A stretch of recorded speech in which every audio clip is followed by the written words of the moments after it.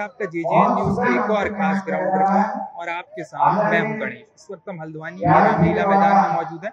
आपको बता दूँ, यहाँ पर शहर की सबसे प्राचीन रामलीला का मंचन किया जाता है। उसी सिलसिले में आज जे की टीम ग्राउंड ज़ीरो पर मौजूद है। आपको यहाँ से तमाम तस्वीरें दिखाएँगे। हम यहाँ पर पहुँचे हुए जो संचालक है इस रामलीला के, उनसे बात करेंगे। दर्शक यहाँ पहुँचे हुए उनमें किस तरह का उत्साह है इस रामलीला के मंचन को लेकर, उनसे बात करेंगे। साथ ही जो लोग यहाँ पर भगवान के पात्र किरदार निभा रहे हैं उनसे भी बात करेंगे और जानेंगे कितने सालों से वो यहाँ पर इन पात्रों का मंचन कर रहे हैं किस तरह का उनका अनुभव रहा है। तो चलिए लोगों से बात करते हैं और आपको दिखाते हैं इस रामलीला की झलकी इस वक्त हमारे साथ कुछ लोग मौजूद हैं जो इस प्राचीन रामलीला में तमाम भगवानों के किरदार निभा रहे हैं। तो चलिए उनसे बात करते हैं। नमस्कार आपका नाम? मेरा नाम कुणाल पांडे है। आप कौन सा किरदार निभा मैं राम जी का किरदार। कितने सालों से आप यहाँ राम का ये मेरा पहला साल है। इससे किस पहले इससे पहले गत वर्ष दो साल मैंने लक्ष्मण जी का किरदार निभाया इसी रामलीला? हाँ जी इसी रामलीला। इससे पहले पाँच वर्ष मैंने भरत जी का किरदार निभाया ये मेरा पहला प्रथम वर्ष है। जैसे कि इसे सबसे प्राचीन रामलीला माना जाता है हल्द्वानी शहर की तो किस तरह का अनुभव रहता है यहाँ पर मंचन करके? काफ़ी अच्छा अनुभव रहता है। बहुत चीज़ें सीखने को मिलती है बहुत चीज़ जानने को मिलती है और हम धर्म से कहीं ना कहीं जुड़े रहते हैं। तो इससे कहीं ना कहीं हमारे स्वभाव में और हमारे नेचर में भी कहीं ना कहीं असर पड़ता है। जैसे आपने राम जी का किरदार निभाया तो कौन सी एक ऐसी क्वालिटी है जो आपको लगता है कि आपको भी अपने जीवन में उतार जो उनकी सबसे प्रथम क्वालिटी है कि वो बहुत ही चरित्रवान है। तो वो हमें अपने जीवन में ज़रूर उतारनी चाहिए। चलिए ठीक है आपका नाम? जी मेरा नाम निखिल जोशी आप कौन से किरदार? मैं लक्ष्मण के किरदार। कितने सालों से आप इस रामलीला में जी लक्ष्मण में तो मेरा पहला वर्ष है। इससे पहले? इससे पहले भरत और शत्रुघ्न भी खेल चुके हैं। तो किस तरह का अनुभव रहता है? जैसे कि सबसे प्राचीन रामलीला दूर दूर से लोग यहाँ देखने आते हैं। तो हाँ जी अच्छा तो लगता है। मज़ा आता है। रामलीला को फेस्टिवल की तरह जीते हैं। और अच्छा रहता है। सबको इस रामलीला से जुड़ना चाहिए और पार्ट लेना आपने जैसे लक्ष्मण का किरदार निभाया तो कौन सी ऐसी क्वालिटी है जो आपको लगता है कि लक्ष्मण जी से सीखनी चाहिए दर्शकों को या लोगों को अपने जीवन में आत्मसात करनी चाहिए? जी अपने भाई के प्रति और भाई नहीं और सभी घर वालों के प्रति जानने वालों के प्रति आदर सम्मान रखें और बस चलिए ठीक है। आपका नाम? मेरा नाम संदीप सजवान। आप कौन सा किरदार? जी। आप कौन सा किरदार हनुमान जी का किरदार निभा रहा हूँ। कितने सालों से आप यहाँ हनुमान जी का किरदार कर हम तो बचपन से ही खेल रहे हैं। हनुमान की सेना से अब हनुमान जी बने आठ दस साल से खेल रहे हैं तो बीते सालों भी आप यही करते थे या कहीं और मंचन पिछले साल किसी कारणवश नहीं खेल पाया था। अभी जो कोई और खेलते थे इस साल फिर मैं खेल रहा हूँ। तो जैसे कि सबसे प्राचीन रामलीला है यहाँ पे हल्द्वानी ये से माना जाता है तो यहाँ पर मंचन करके कैसा लगता है? बहुत से लोग यहाँ देखने बहुत गर्व महसूस होता है। पहले हम यहीं रहते थे यहाँ से जुड़े हुए हैं बहुत सालों से इसलिए हमें अच्छा लगता है यहाँ प्राचीनतम रामलीला में। जैसे कि आप हनुमान जी का किरदार निभा रहे हैं तो कौन सी एक ऐसी क्वालिटी है जो आपको लगता है दर्शकों को अपने जीवन में हनुमान जी से सीखना चाहिए जो हनुमान जी भक्त से वत्सल है। राम जी के सेवक हैं। हमें संकट मोचन भी कहा कहा गया है उन्हें। इसलिए हनुमान जी से यही शिक्षा लेनी चाहिए कि सबके दुख दूर करें और हमेशा भक्तों को भक्तों का साथ दें। नमस्कार सर आप यहाँ सबसे पहले रामलीला के मंचन में पहुँचे तो सबसे पहले कैसा लग रहा है? देखिए ये जो रामलीला है ये मैं समझता हूँ कि ये कुमाऊँ की और विशेषकर हल्द्वानी नगर की सबसे पुरानी रामलीला है। ये बहुत लंबे समय से जब कहते हैं मैंने तो सुना है क्योंकि मेरे से पहले की जो दशक थे उन दशकों से ये रामलीला चल रही है।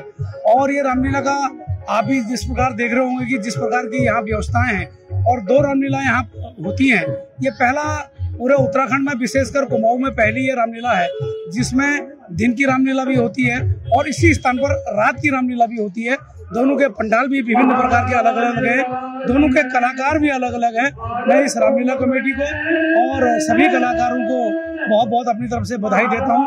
ऐसे राम कार्य में सभी यहाँ पर जितने श्रद्धालु आए हैं, उनको भी मेरी शुभकामनाएँ हैं और आपके चैनल को भी मेरा विशेष विशेष इसलिए बधाई है कि आप भी यहाँ कवरेज करने रोज आते हैं, ऐसा मेरी जानकारी में मैं आप- पुनः सभी श्रद्धालुओं को विशेषकर इस रामलीला में जितने पात्र हैं, उन पात्रों को भी बधाई देता हूँ। इस कार्य में, इस, जो पुण्य कार्य में लगे हुए कार्यकर्ता हैं, उन कार्यकर्ताओं को भी बधाई देता हूँ। सर, कितने सालों से, बीते कितने सालों से आप यहाँ आ रहे हैं?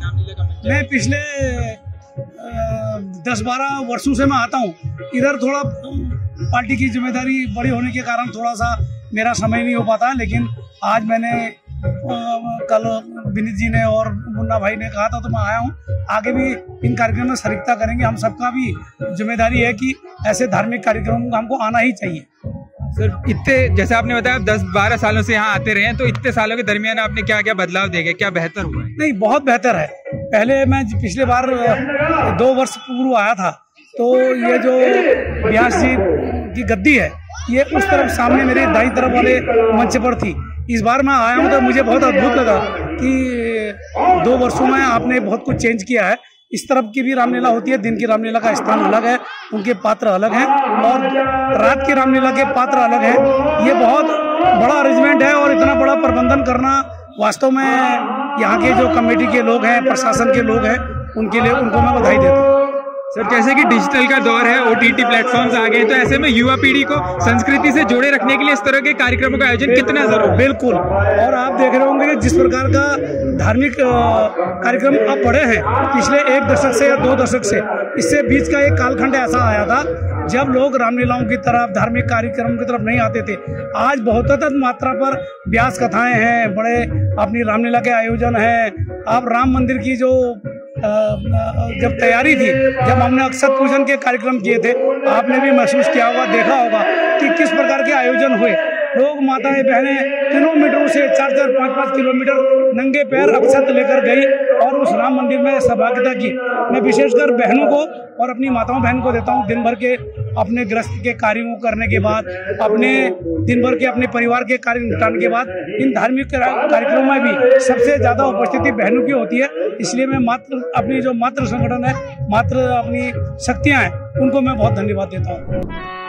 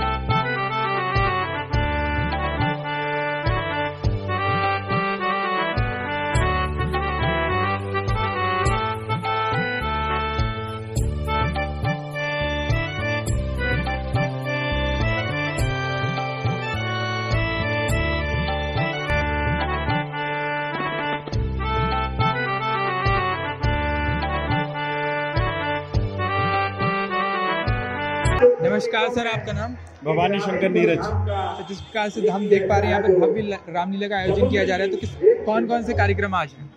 रामलीला संचालन समिति प्रतिदिन जो है रामायण के प्रसंग जो हमारे व्यास जी बताते हैं उस हिसाब से इसका प्रतिदिन जो है प्रदर्शन होता है। आज जो है विभीषण शरणागति और राम सेतु बंद और इसके अलावा श्री रामेश्वरम स्थापना। सर यहाँ पर रामलीला का आयोजन कितने सालों से किया जा रहा है? जरा दर्शकों को रामलीला का आयोजन ये जो पूरे उत्तराखंड में जो मुझे लगता है सबसे प्राचीन रामलीला यही होती है। 146 वर्षों का इतिहास बताया जाता है। ये आठ दस सालों से तो मैं भी जुड़ा हूँ। लेकिन हमारे ब्यास जी और जो अन्य पुराने लोग यहाँ पर रामलीला संचालन से जुड़े हुए हैं वो लोग कहते हैं कि लगभग 146 वर्ष से ये रामलीला दिन की यहाँ पर हो रही है। आप बीते कितने सालों से इसका बांट रहे जी? आप बीते कितने सालों से इस रामलीला में संचालन का काम मैं पिछले छह सालों से जो हूँ यहाँ पर रामलीला संचालन समिति सदस्य हूँ और हमारी इकतीस लोगों की टीम है। हम सब लोग मिलकर यहाँ पर जो है अलग अलग सबको काम बांटे जाते हैं सब अपना अपना काम करते हैं। आदरणीय जो सिटी मजिस्ट्रेट जो है हमारे रिसीवर हैं वही संरक्षक है उनके संरक्षण में ये कार्य होता है। जैसे कि आपने बताया ये संभवतः सबसे प्राचीन रामलीला इसके अलावा अगर मैं बात करूँ तमाम जगहों पे रामलीला होती है यहाँ पर क्या और अलग है बाकी रामलीला से कि दर्शक यहाँ देखने आए इसके बारे में देखिए ऐसा है ना जो यहाँ की रामलीला अलग है उसके पीछे की एक मुख्य वजह यह है कि जो दिन की लीला होती है वो दिन की लीला इस पूरे क्षेत्र में शायद मैं तो यही देखता हूँ और कहीं दिन की लीला होती नहीं है। दिन की लीला में और रात्रि लीला में दोनों में अंतर है। रात्रि लीला में जो प्रसंग करते हैं जो पाठ खेलते हैं वो अपने जितने भी संवाद होते हैं वो स्वयं बोलते हैं। और ये वाली जो रामलीला होती है दिन की इसमें संवाद व्यास जी बोलते हैं और जो क्षेत्र में जो अंदर पार्टिसिपेंट्स होते हैं वो अपनी एक्टिंग मोनो एक्टिंग करते हैं। नमस्कार सर आपका नाम? राम बाबू जायसवाल अध्यक्ष वैश्य महासभा अच्छा जिस प्रकार से यहाँ भव्य रामलीला का आयोजन किया जा रहा है सबसे पहले तो किस तरह का उत्साह लोगों में देखने को मिला? देखिए बहुत सुंदर ये बहुत प्राचीन डेढ़ सौ वर्ष पुरानी रामलीला है। और इसके पूरे उत्तराखंड के अंदर मैं समझता हूँ दिन में कहीं नहीं होती है जो कि हल्द्वानी शहर में रामलीला का दिन की रामलीला की जाती है। सबसे बड़ा बहुत बड़ा महत्व है और कहीं ना कहीं प्राचीन और डेढ़ सौ साल पुरानी रामलीला मैं समझता हूँ कोई नहीं होगी यहाँ तक। सर आप बीते कितने सालों से यहाँ पर आ रहे हैं? देखिए मैं तो बचपन से पैदा यही हुआ हूँ और यहीं की रामलीला देखते देखते आज इस उम्र तक आ गया हूँ। जैसा कि आपने बताया कि सबसे प्राचीन रामलीला संभवतः हल्द्वानी आसपास के क्षेत्रों की है। तो इतने सालों के दरमियान आपने क्या क्या चेंजेस देखे? देखिए, पहले में और अब में तो बहुत जमाना देखो कंप्यूटर युग आ गया उस जमाने में पात्र भी बड़े, बहुत तरीके से बोल बाल करके किसी तरीके से उतना सामान नहीं होती थी तो सामग्री नहीं हुआ करती थी। धनुष में बाण और ये जो बिकते थे, इन्हीं के द्वारा किसी न किसी रूप में इसको संचालित किया जाता था। लेकिन अब तो कंप्यूटर युग आ गया, आप देख रहे हैं, आप लोगों के माध्यम से हम लोग घर बैठे कहीं बैठे हैं और देख रहे हैं, हम कार्यक्रम रामला की पूरे संचालन देख रहे हैं जैसे आपने ज़िक्र किया तमाम तरह की टेक्नोलॉजी आ गई है तो अब दर्शकों का उत्साह कैसा है? बीते सालों की बात करें और बीते सालों में और अब के समय में कितना अंतर है? दर्शकों का उत्साह वैसा देखिए ये बहुत बढ़िया बात आपने क्वेश्चन करा कि दर्शकों में उत्साह कम हो गया रीजन हर आदमी आजकल मोबाइल में देख ले रहा घर में बैठ के देख ले रहा। पहले के जमाने में टीवी नहीं हुआ करते थे मोबाइल नहीं हुआ करते थे हर आदमी का एक उद्देश्य होता था कि रामलीला में जाकर के रामलीला देखेंगे स्वयं प्रत्यक्ष। अब तो आदमी मोबाइल में इतना बिज़ी हो गया है मोबाइल में स्वच्छ देख ले रहा खुद ही देख ले रहा है करके। बस ये सर जैसे रामलीला का मंचन है इस तरह के प्रोग्राम कितने ज़रूरी है सांस्कृतिक और सांस्कृतिकों के देखिए ये वाकई बहुत सुंदर क्वेश्चन करा आपने। क्योंकि देखिए, हम कहीं ना कहीं ना इस ओर भूल भूलते चले जा रहे हैं। और ये कहीं ना कहीं ये जैसे जागरण है, जैसे रामलीला है, कहीं ना कहीं इन बच्चों को इस चीज़ का ज्ञान होना चाहिए कि आज की डेट में हम कैसे क्या हुआ, किस युग में कैसा हुआ, क्या हुआ। ये सब चीज़ें पाश्चात्य शैली की ओर बढ़ते चला रहा हमारे बच्चे। और हम लोग इस ओर ध्यान नहीं दे रहे हैं। आज हमारा भीड़ का देखिए नहीं, एक समय था हम बचपन में देखते थे, यहाँ पे पैर रखने की जगह नहीं हुआ करती थी। आज ये दुर्भाग्य है, कहीं ना कहीं हमारा, कहीं ना कहीं हमारी ये संस्कृति विलुप्त होती जा रही है, जिसका इस पर विशेष फोकस करना चाहिए, मेरा यही आग्रह है।